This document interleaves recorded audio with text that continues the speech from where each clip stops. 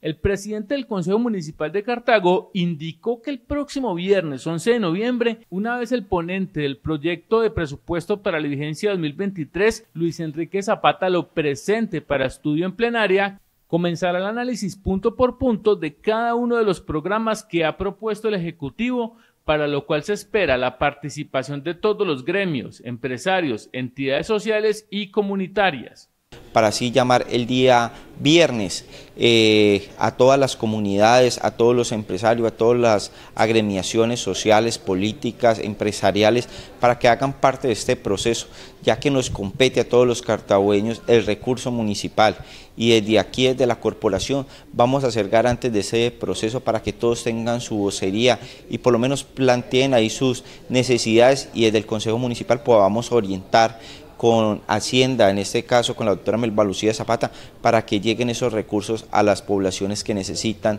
que sean impactadas. Por eso acogemos esta importante iniciativa que tiene el señor alcalde y todos los concejales para articular en todos los sectores el importante presupuesto que se aprobará para el 2023.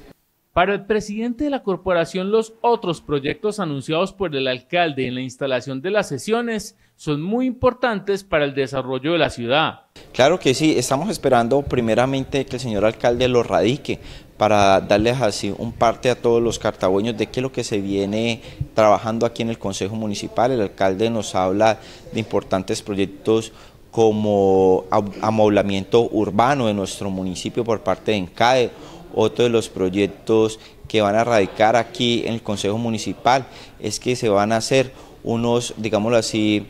unas bahías que se esperan construir con recursos también de la CBC, de la gobernación, eh, todo lo que conlleva al río La Vieja para poder mitigar y aparte de eso volverlo más turístico en el río La Vieja, tocando varios sectores como la arenera, la platanera, la avenida del río, hacer ese gran malecón que siempre ha soñado los cartagüeños para que se dé en nuestro municipio. Son importantes proyectos que esperamos que en el transcurso de la otra semana se empiecen a radicar para así darle el estudio y la factibilidad del Consejo Municipal. Luis Fernando Giraldo hizo un llamado a las autoridades para que se implementen más medidas que permitan contrarrestar la ola de inseguridad que se presenta por estos días en Cartago. Por eso le hacemos ese llamado respetuoso a la Policía Nacional para que le solicite a la Gobernación del Valle para que los apoye con más policías aquí en nuestro municipio y aparte de ello mayor vigilancia